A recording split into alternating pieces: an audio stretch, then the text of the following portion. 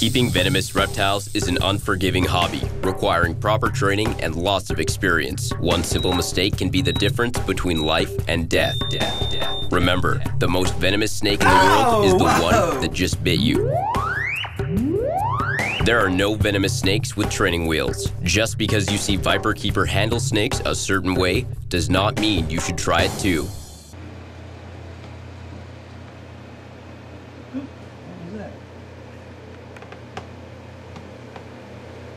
Would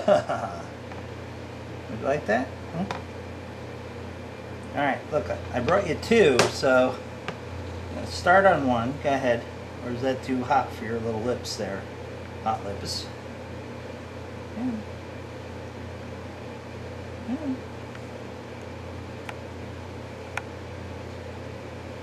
This is uh, a Terciopelo. Which I think is Spanish for velvet. Also known as Bothrops asper. As Steve Austin said, the ultimate pit viper. These things get very large and are very fast and very, very unpredictable. Uh, they can turn back on themselves after racing at high speed in one direction and be back on you and before you have time to react. Well, come on. Don't be a pain in the butt. Yes, I'm talking about you. Come on.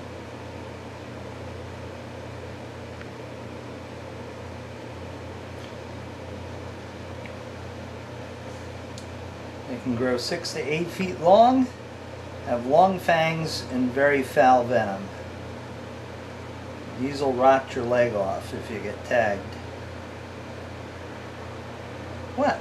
Don't look at me like that. I hate to be the, uh, uh, the person of attention with these guys. Yeah. Got the hiccups? Hmm.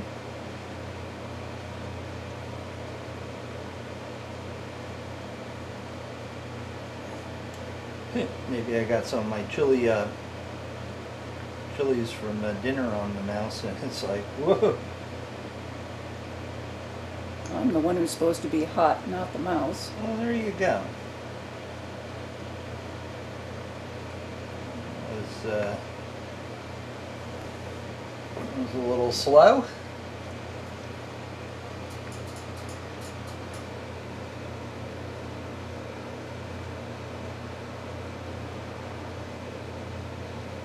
I've been only feeding her one pink a week, which I know is a small amount for her, but I'm not trying to get her to grow too big too fast. Because she may not be as fat as Miss Mooge and I, but she will be much longer. There you go. I even got the substrate off.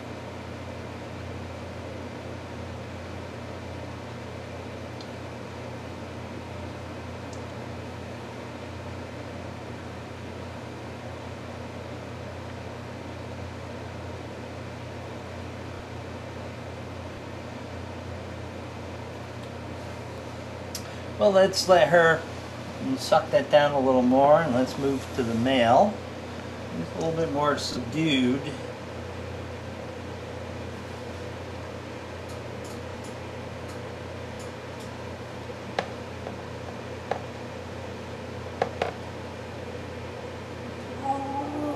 Roar! No? You're just a little loved up today, huh?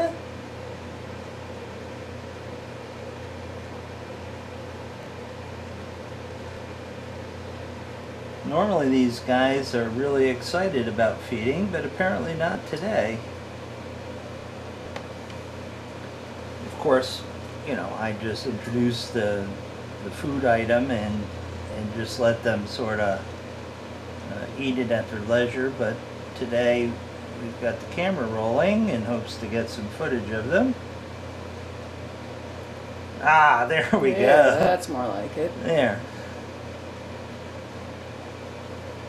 I think if there's a a range of temperature that they get really excited about. If you're high, too hot, they're like, ah, I don't eat anything that this, that's this hot. If it's too cold, it's like, eh, I hardly even care. Yep. Yeah, he's, he's a bit on the skittish side. Let's see if the girl is uh, ready for another. Would you like another, huh? huh? Yes, thank you. There we go.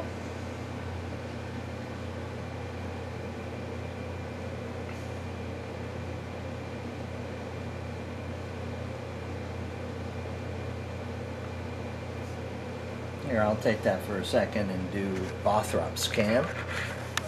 There we go. Oops, I'm sorry. I didn't mean to wear you out. I know that was pretty abrupt.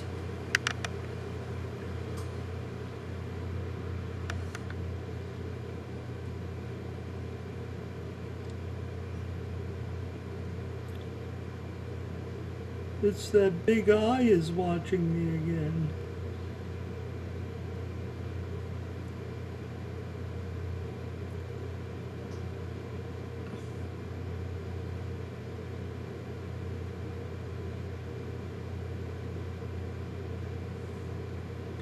These guys have super long fangs. Folded, it's probably half the distance between the rear of the eye and uh, the jawbone.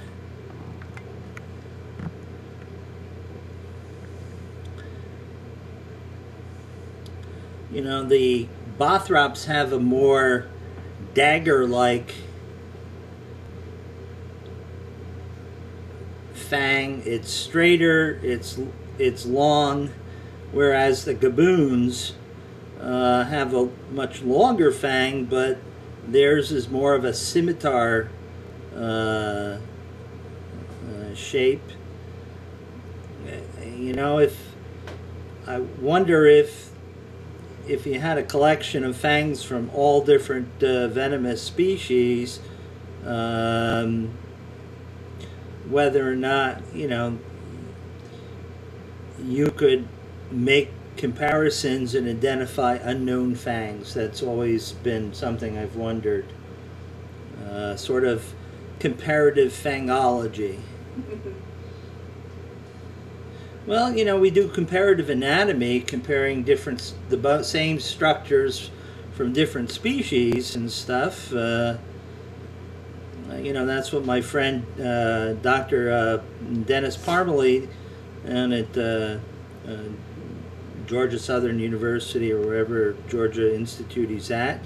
He uses uh, bones of modern day snakes to compare to snake bones uh, fossils that he goes out and finds at, uh, at different uh, locations around the country and world uh, and uses those as comparison and in hopes to sort of draw conclusions of you know, what snake family those particular bones came from. Ah, oh, stop that. So, uh, it's pretty cool, and certainly you might be able to uh, identify um, those sort of things from fangs. But unless you had a, an extensive collection of fangs, it would be uh, not so easy. How you making out there, buddy? Up, oh, you just retreated, but we'll leave that uh, there. And now let's see what our little Bothrops or Nettie.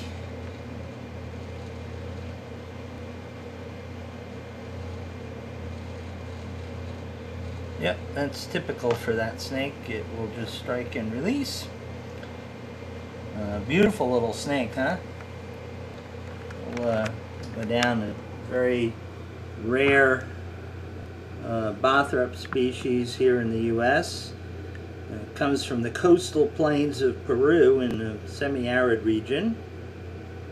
I'm particularly fond of the little white triangles bordering those uh, brown triangles. It really makes them stand out and just very, very nice.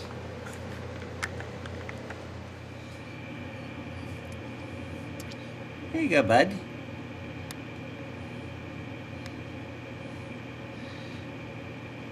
Yeah, I must caution everybody that uh, uh, watering snakes from a squeeze bottle is a definite way of getting them hydrated, but it also increases your possibility of getting bit. Uh, really, really know your animal and how close uh, they can tolerate you uh, getting uh, without trying to kill you. Uh, I'll do this, you know, um, it's sort of a trust building thing. Um, you know, they will trust you to a great extent, but mm, there is a limit. Um, it takes time, and uh, you start by sh shooting the water across the cage, and then you slowly uh, work to the point where uh, where you can get the nozzle close like I did. Uh, and sometimes they're in the mood, sometimes they're not. But, you know, you definitely increase your chances of getting bit.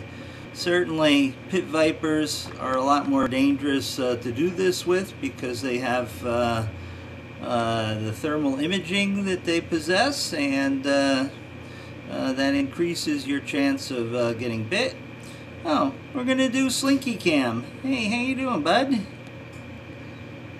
Yeah. Well, now Slinky's investigating the camera and tasting all the fine taste that it has. Hi, how you doing? No, you can't come out because Elvis is out right now. Elvis is out right now. You can't come out. Yeah, my fingers are right there, so please stay away from them. Thank you. Yeah, that's you, bud. That's you. No, I know you want to climb over the top of the camera. Please don't. Thank you. So, you know, Slinky's been with me for a, a while, but Slinky does have his uh, his moments that um, he's really, really difficult to work with, and you know, he's very intent on uh, on coming out of the cage sometimes, and and that is coupled with I don't want to go back in the cage, and you know, I understand that. Um, so I pick and choose uh, when Slinky can, can, come out and visit. Uh, certainly with Elvis out and about in the room, um, Slinky can't possibly come out. Uh, one, uh, one deadly serpent out at a time. Okay. Go on back in, Slink. Go ahead. Come on. No, we're not coming out. I know, I see the tongue flick. Come on. Put your head back in. Go ahead. I know. Now go pout.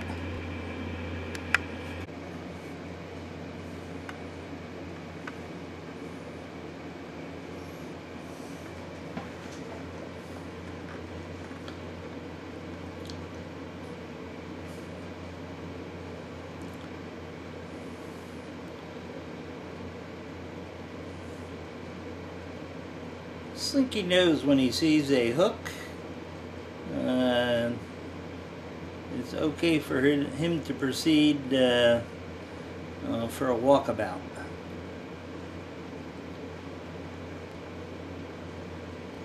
Careful, it's not anchored, so don't don't put too much lateral force on it, bud. You'll uh, end up on the floor freaked out. Let's see, what do we got here? We got another hook.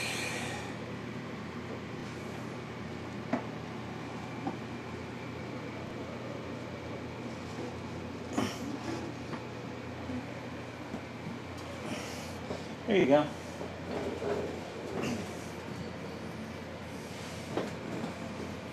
No? Me rolling around spook you, bud?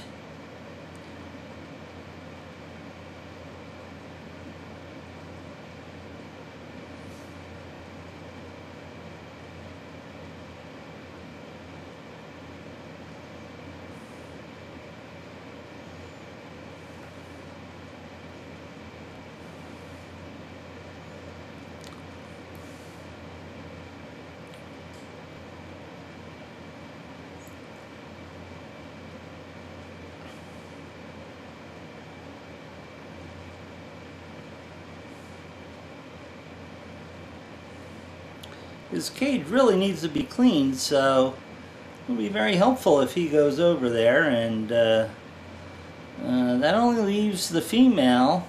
Um, I can probably clean the uh, cage with her up in the, the tree there. I don't know if you folks can see her, but she's way up top of, in the tree. Um, as long as she stays there, if not, I'll drop her in the bucket. Slinky uh, hopefully will go up into there and just chill. Well, actually, it's got a heating element, so you can actually uh, warm up. So it's been a while since Slink has been out.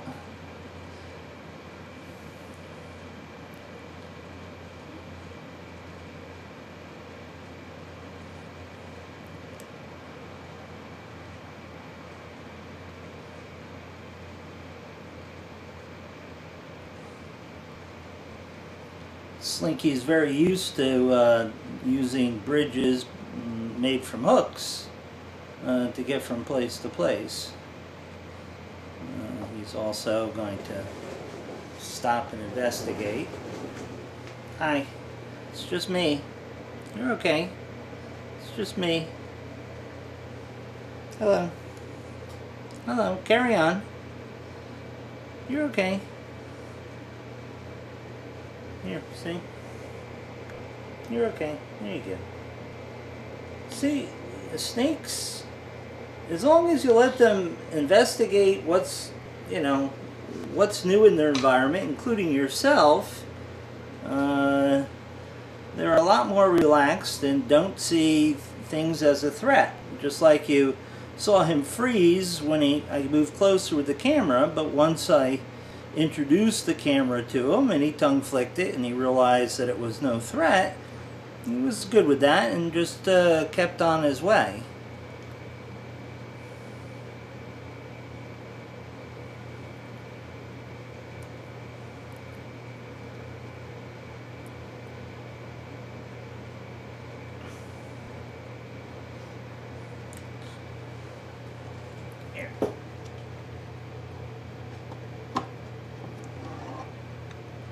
You're okay. You're okay.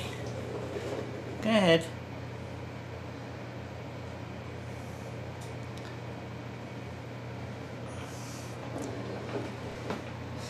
Now, for those of you of interest, what are you doing? Huh? You're backing up and you're causing this whole rig to slide. There's the remainder.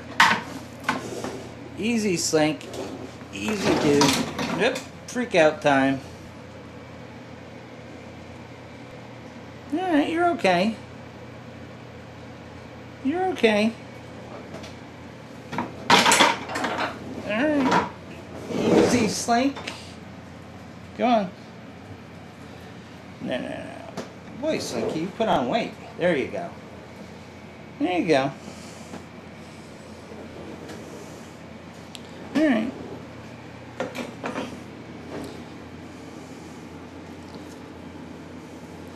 What happened, dude? Huh? You got all all freaked out. Okay.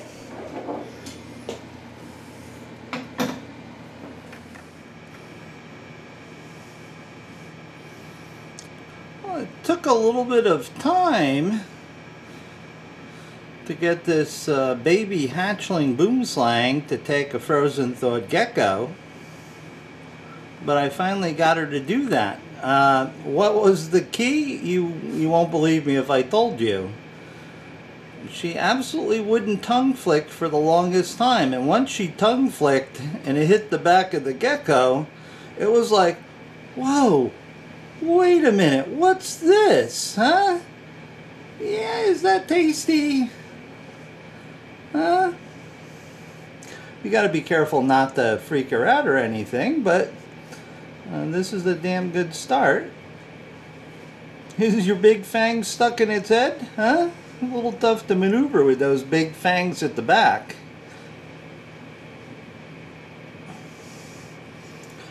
These are absolutely adorable, very deadly little toxic worms. You know, and it's unfortunate that she's going to probably lose, well, she'll certainly lose her baby colors, but will probably turn black like all the rest.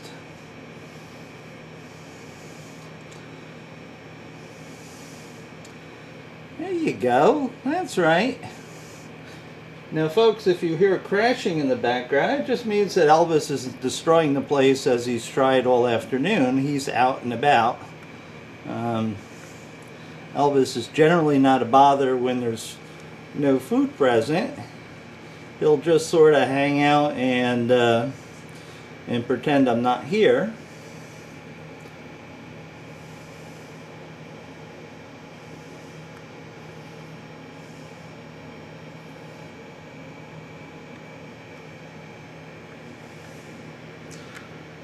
You can see her beautiful uh, baby colors.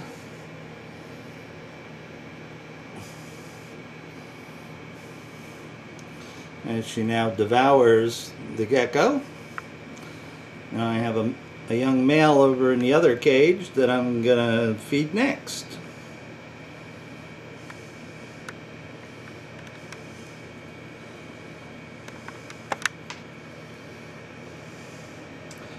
And they've got these lovely green eyes. Come on. Take it up into your cage. Come on, don't get it caught in there. Whoops. Damn, I pulled the fat, fatty part of the tail off. There you go. Well, that's unfortunate. Let me see if I can get it to go down sort of after the fact. As part of a, a trailer.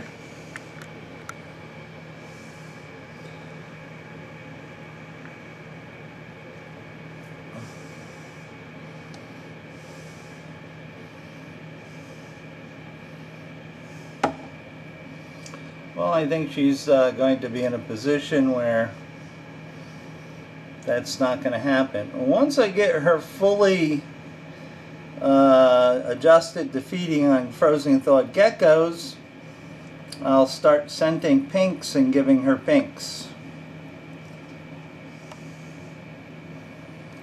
Look at that. Uh, that's her warning colors. You can't see that blue unless she inflates her neck or she's eating like she is now. But holy cow, is she a gorgeous snake. But when you see that, watch out because she's going to bite you.